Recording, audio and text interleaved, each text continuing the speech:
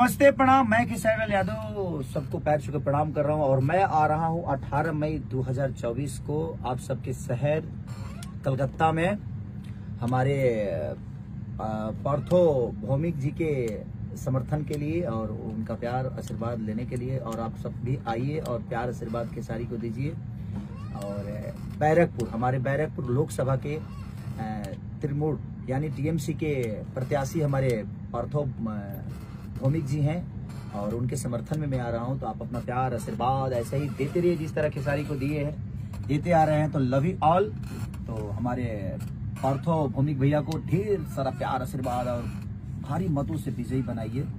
और बैरकपुर लोकसभा के ये टीएमसी के प्रत्याशी हैं हमारे पार्थो भौमिक जी, जिनका कार्यक्रम भी किया था। तो आ रहा हूँ मैं कल 18 मई 2024 को। आप सबसे मिलने और आपका प्यार लेने। Love you.